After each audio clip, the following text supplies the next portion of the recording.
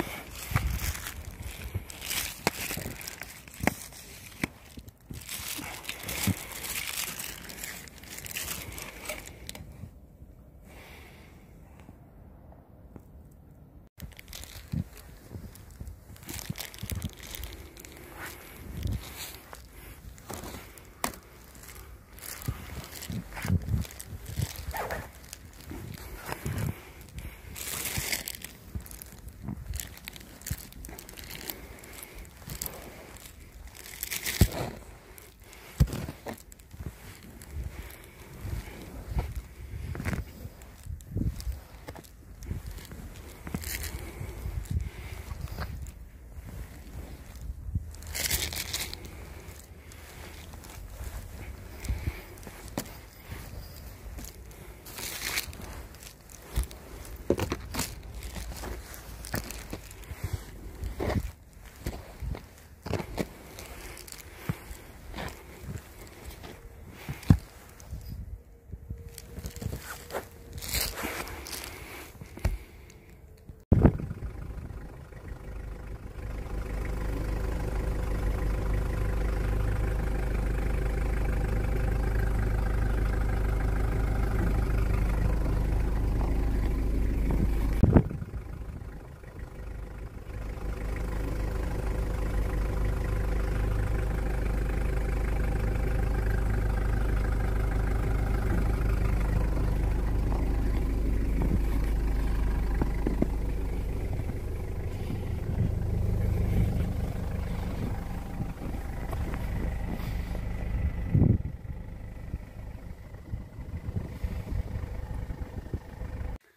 はい、最後までご視聴いただき誠にありがとうございます。ちょっとね、あの、ところどころやっぱり編集も危ういかったりしてるところあるかと思いますけども、えこれからもですね、青森県らしいような、なんか、初体験とかいろんなことを、え動画アップしていきたいと思いますので、引き続き応援よろしくお願いします。で、もしよろしければですね、いいねとか、あの、チャンネル登録していただければ嬉しいです。どうも、青森の岡でした。ありがとうございました。